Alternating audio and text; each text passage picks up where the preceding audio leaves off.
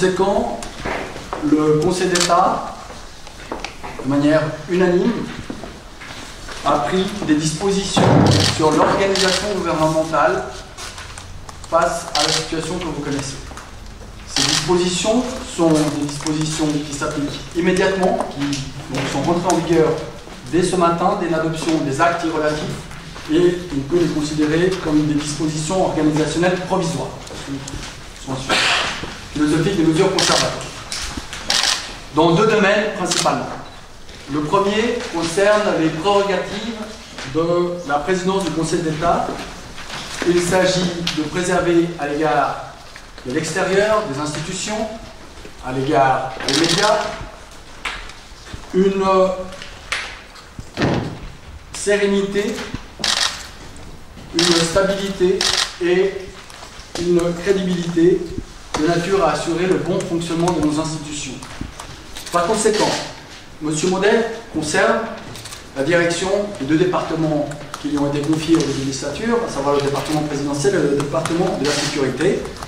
Or, les prérogatives et le domaine d'action, tant dans le département présidentiel que dans euh, le département de la sécurité, qui sont confiés de facto à leur supérieur. Le Conseil d'État n'a pas voulu, dans un délai si court, procéder à des réorganisations profondes qui auraient modifié éventuellement leur réponse à l'organisation de l'administration cantonale. Vous savez que cette organisation doit être approuvée par le Grand Conseil. Il a par conséquent pris des mesures qui sont légères administrativement, on a pu les prendre d'emblée ce matin, et qui euh, ont également la, souplesse de pouvoir évoluer si euh, le, dossier le justifie, ou euh, révoquer également si la situation venait à évoluer dans un autre sens. Je vois institutionnellement ce qu'il y a, mais qu'est-ce qui vous reste concrètement comme tâche à faire? Je crois que monsieur le vice-président a été assez clair. Donc, il y a deux départements que je préside et que je continue à présider. Vous avez euh, dans le communiqué de presse le recensement des activités de nature présidentielle.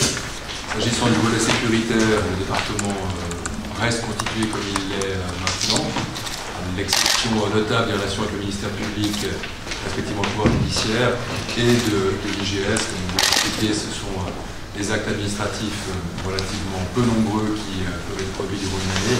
Donc il n'y a pas de changement majeur s'agissant de ces deux départements.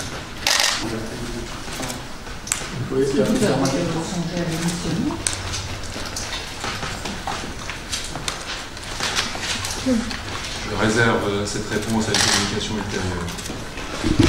Il est évident que le courrier du procureur, la forme, le moment où il est arrivé, a créé une certaine surprise.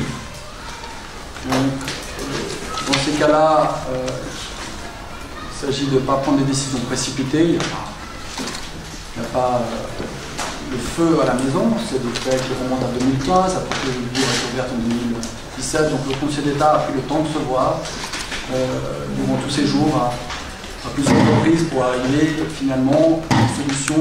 Mais au-delà de, l'émotion que l'on peut finalement avoir dans ce genre de, situation, est la solution la plus correcte vis-à-vis de l'institution et vis-à-vis euh, finalement de la crédibilité du Conseil d'État à l'égard de l'extérieur.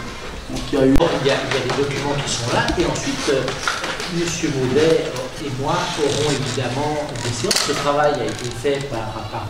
Maudet. Il ne s'agit pas de lui retirer la paternité du travail qui a été fait conjointement avec le ministère public. Il est simplement, il serait incongru d'avoir M.